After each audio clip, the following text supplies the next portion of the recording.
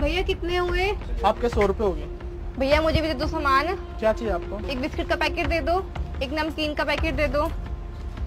भैया मैं कैश लाना भूल गई यूपीआई कर दूँ? तो आप इस पे कर दो। हाँ जी ठीक।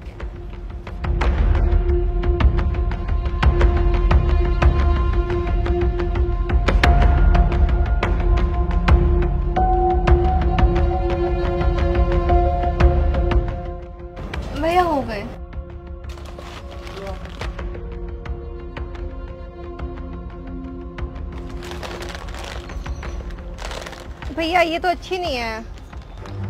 बिस्किट कोई और नहीं है? नहीं यही है। रहने दो फिर।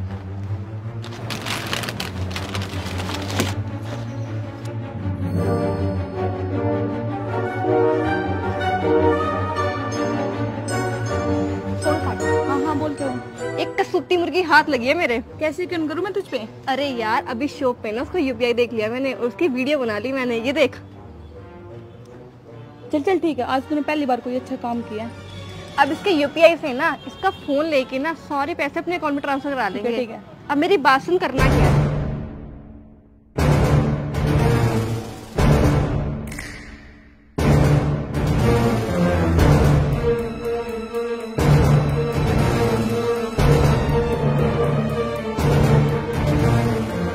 एक्सक्यूज मी मैम हाँ जी। मेरे ना फ़ोन का एक्चुअली रिचार्ज खत्म हो गया और मुझे कॉल करना है। आप अपना फ़ोन दे सकते हो प्लीज़ ठीक है ले लो।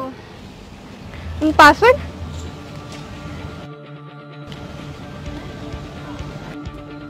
एक्सक्यूज मी मैम हाँ जी।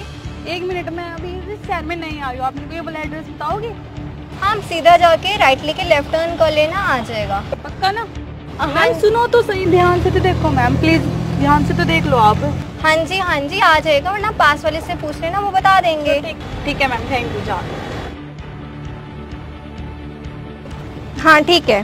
ठीक है ठीक है वहाँ आके मिलो आप मुझे। Okay thank you ma'am it's okay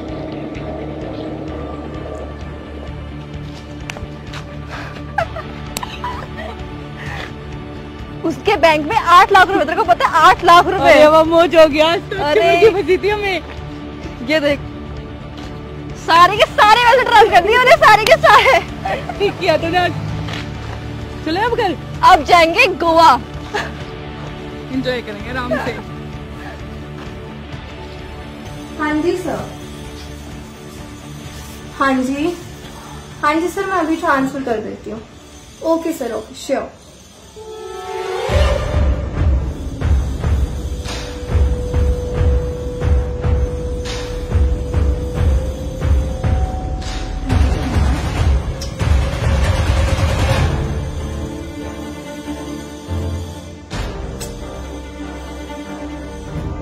ये बार बार फेल क्यों हो रही है ट्रांजेक्शन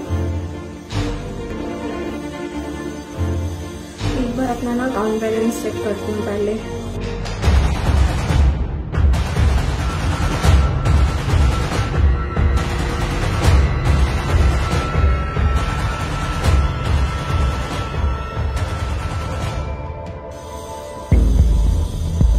मेरे पैसे कहाँ गए? मैंने तो कोई ट्रांजेक्शन की ही नहीं।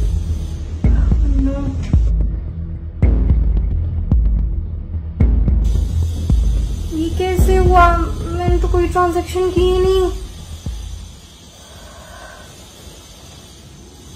दो पच्चीस पर उस टाइम तो मैं कहीं उस लड़की नहीं तो शिट यार, अब मैं क्या करूँगी? तो मैं पैसे वापस भी नहीं ला सकती। मेरे पास कोई प्रूफ भी नहीं कि मैंने ट्रांजैक्शन नहीं की।